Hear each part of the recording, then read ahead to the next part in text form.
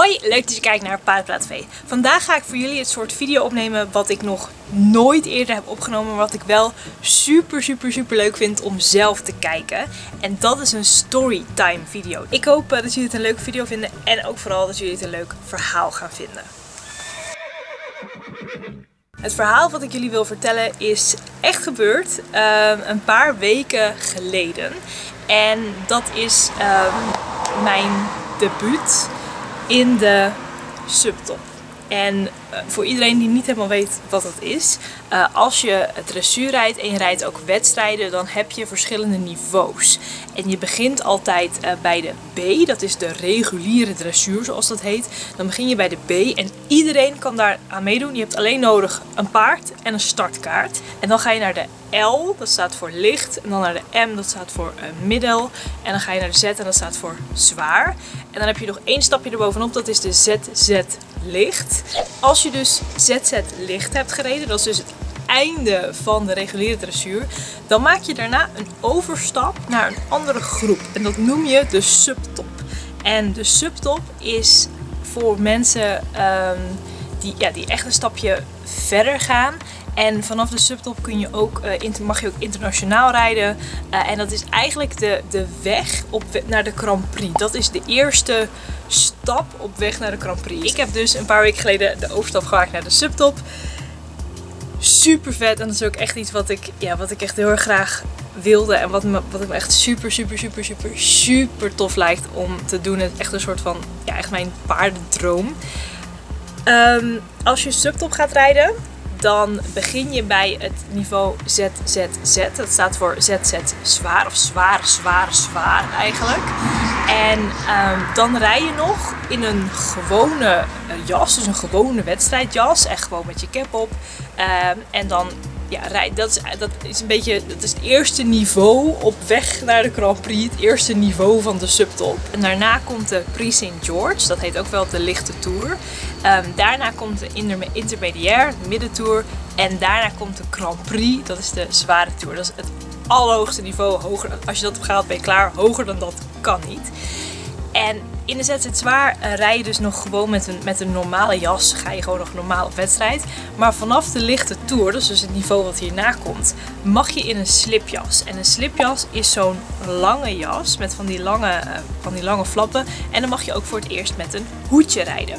De lichte tour, dat is dus het niveau wat voor mij hierna komt, is mijn absolute ultieme droom. Als ik dat heb gehaald, kan ik vredig sterven. Dan dat is mijn absolute droom om ook in zo'n lange jas te mogen rijden. Um, maar daarvoor moet ik eerst de ZZ Zwaar uitrijden. En ik ben dus ZZ Zwaar gaan starten een paar weken geleden op een hele speciale wedstrijd. En daar wil ik jullie vandaag um, over vertellen hoe dat is gegaan. Een paar weken geleden was er een hele grote wedstrijd in Zeeland.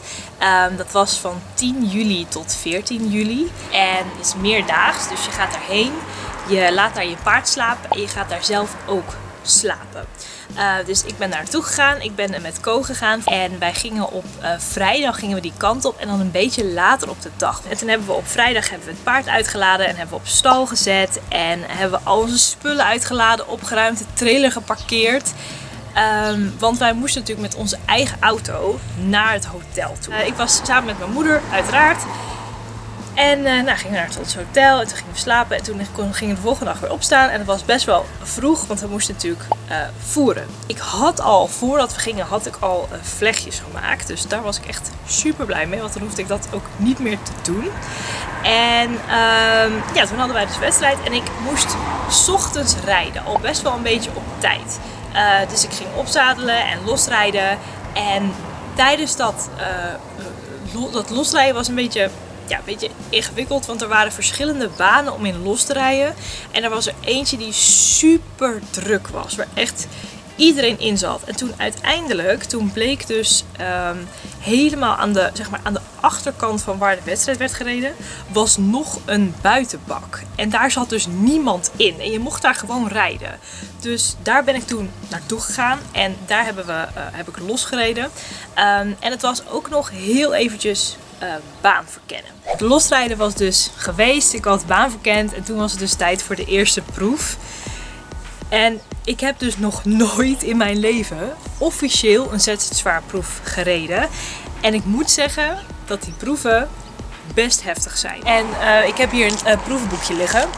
Dit is gewoon een proevenboekje. Ik moest 7, nummertje 37 en nummertje 38 rijden. Dit is, zo ziet dat er dan uit. 37 en 38.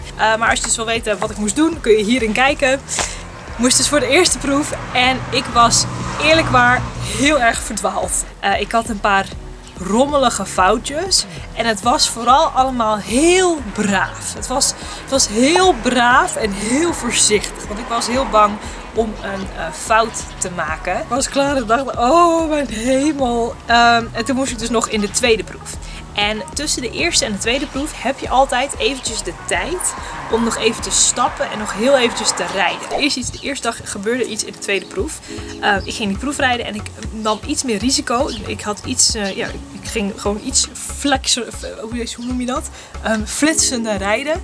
En uh, dat pakte heel goed uit. Tot het moment um, dat ik een appiëment moest doen in galop. Ik was aan het proberen om uit te komen waar ik uit wilde komen. En dat ging niet helemaal. En uh, toen was ik niet helemaal duidelijk genoeg naar mijn paard toe. En die ging heel lief voor mij draven. Want ik dacht dus dat ik in de war was. En die ging draven. Maar dat is dus absoluut niet de bedoeling. Dus uh, dat appiëment ging mis die, en die wissel ging mis. En wat ik toen heb gedaan, is dat ik ben teruggereden en dat ik het opnieuw heb gedaan daar kun je allerlei dingen over zeggen. Ehm, want ik kreeg dus voor zowel mijn appiëment um, als voor mijn wissel een lager punt. In ieder geval, het appiëment was in elk geval een 3. Maar omdat ik ben teruggegaan om het opnieuw te doen, krijg je dus een min 2. Omdat je dan verkeerd rijdt, zeggen ze dan. Dus van die, van die 3 die ik had gekregen, gingen nog 2 punten af. Dus ik had uiteindelijk een 1, een 1 voor dat onderdeel. Toen was ik klaar met rijden en toen uh, gingen we uh, afzadelen en uh, wassen en alles, dat soort dingen. En toen moesten we wachten op de prijsuitreiking. En um, bij dit soort wedstrijden komen de resultaten altijd binnen op een scherm. Dus dan hoef je niet meer te wachten. Je kunt gewoon op het scherm kun je zien wie er heeft gereden en hoeveel punten die hebben gehaald. In elke proef had ik een winstpunt waar ik super blij mee was, want dat was echt mijn doel. En wonder boven wonder won ik in de ehm, tweede proef won ik een prijs. Uh, ik werd uiteindelijk vierde en er waren mega veel deelnemers. Ik denk er waren tussen de 20 en de 30 deelnemers. En ik werd dus vierde en ik heb hier mijn, mijn prijsjes liggen.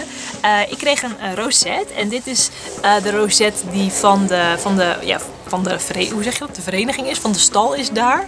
Dat is uh, deze. En ik won, heel leuk, een zoutsteen, een liksteen voor paard. En in de andere proef werd ik uh, tiende. Nee, wacht. Werd ik nou, was ik nou vierde of zesde? Nee, ik was vierde en tiende. Um, vierde en tiende was ik dus de eerste dag.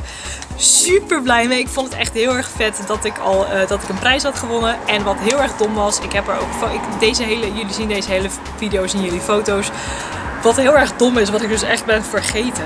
Als je prijsuitreiking hebt in de subtop, dan moet je officieel in tenue, zoals dat heet. En ik had er even niet over nagedacht en ik had al mijn kleren, want ik was echt zeiknat van het zweet. Ik had al mijn kleren uitgetrokken en een oude spijkerbroek aangedaan. Met gewoon mijn oranje, met een oranje polootje en, en, en oude gymschoenen. En zo liep ik in de ronde. Um, en ik moest dus die, die prijs ophalen in, in mijn oude kloffie. Waar ik ook zeg maar stallen mee, mee uit moet mesten. Uh, en alle andere mensen waren gewoon heel erg netjes aangekleed. Dus dat was een beetje dom. De volgende dag is eigenlijk weer alles opnieuw begonnen. Dus dan hebben we weer gevoerd en met het paard gewandeld. En gepoetst en opgezadeld en uh, losgereden. En uh, ik kon toen geen baan verkennen. Ja, ik vond het een beetje vervelend, want er was één baan uh, waar ik dus nog niet in was geweest. En die had een hele rij vlaggen, echt een stuk of tien vlaggen langs de kant staan. Um, en ik, had er dus nog niet, ik was daar nog niet in geweest. Dus ik was een beetje bang dat dat misschien voor problemen zou zorgen. Uh, maar ik ging er nog niet al te veel over nadenken. Uh, was met losrijden heel fijn. Hij was wel een beetje uh, een beetje stout in de zin van, oh wat leuk, we mogen weer en ik vind het hier wel gezellig en ik vind het hier wel leuk en ik ga een beetje ook mijn eigen ding doen. En ik voelde al, hij is echt, hij heeft er echt, hij is echt helemaal on fire. Hij, hij vindt het zo geweldig en zo leuk en hij wil heel graag hard en dribbelen. En hij had ook zo'n beetje zijn oren al erop staan en hij keek zo'n beetje ondeugend. Dus ik zat en ik zat echt niet bewegen, niet bewegen, niet bewegen, niet bewegen. Als ik nu beweeg, als ik nu beweeg gaat, gaat hij dribbelen. Als ik nu beweeg gaat hij stoppen. Als ik nu beweeg gaat hij draven. Ik moet niet bewegen, niet bewegen. Je moet daarna dan zeg maar je weer uh, normaal verzamelde stap doen en dan moet je aangalopperen. En toen ik zeg maar mijn teugels op maat nam om normaal, om normaal te gaan stappen voor die overgang in galop, ging ik toch nog heel even een heel klein zo dribbeltje draven. Uh, dat was wel jammer, maar ja, vooruit. Um, en toen in de tweede proef heb ik echt heel erg goed gereden. En uh, dat was echt een proef waarvan ik dacht, oké, ik krijg nu, ik krijg nu een beetje de vibe van hoe het moet. En dit is, dit is zo en ik ga het een beetje leren en ik raak er een beetje aan gewend. En toen moesten we dus weer wachten op die prijsuitreiking. En uh, ik stond af te zadelen en Leontien die kwam naar mij toe. En die zei, je moet even kijken naar de foto die ik je net heb gestuurd. Dus ik kijk op mijn telefoon naar de foto die ze mij net heeft gestuurd. Had ze me een foto gestuurd van het scorebord. En toen stond ik op de vierde en op de eerste, de eerste plaats. De eerste plaats. Ik had ook mijn punten. Ik had um, in die proef waarbij ik vierde stond, had ik een winstpunt. En uh, ik geloof dat ik, ik had iets van 64% of zo.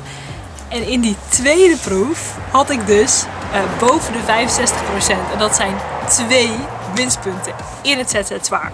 En als je op één staat of als je in de prijzen valt, dan is het heel erg moeilijk om te wachten. Want dan hoop je dat je niet gaat zakken.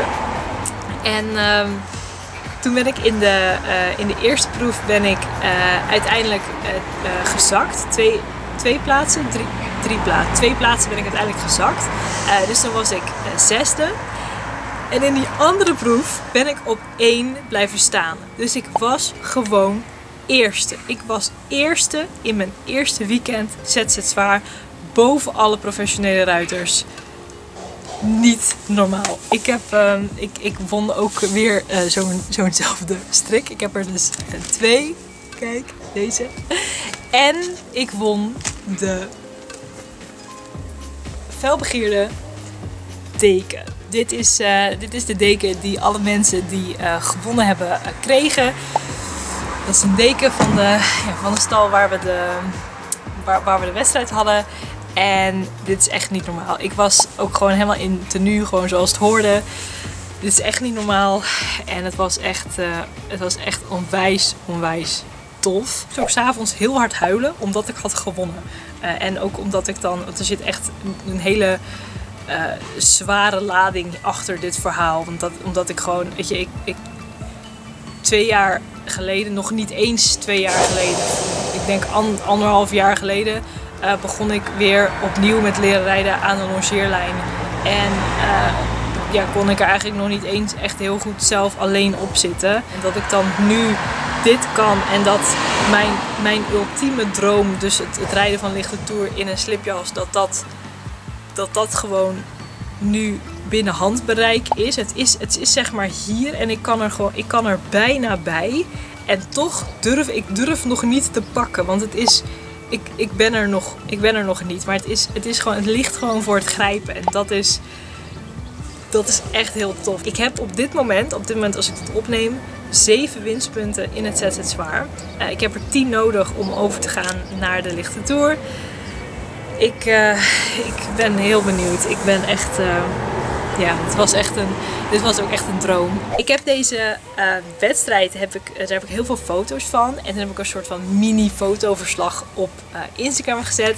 En het leek me heel erg leuk om deze wedstrijd een keer te verwerken in een storytime. Uh, ik heb wel een aantal foto's voor jullie ook om te laten zien. En uh, ja, ik vond het hartstikke leuk om een keertje te doen. Als je nou dit een, een, ja, een soort leuk concept vindt en je wil uh, vaker een verhaal horen.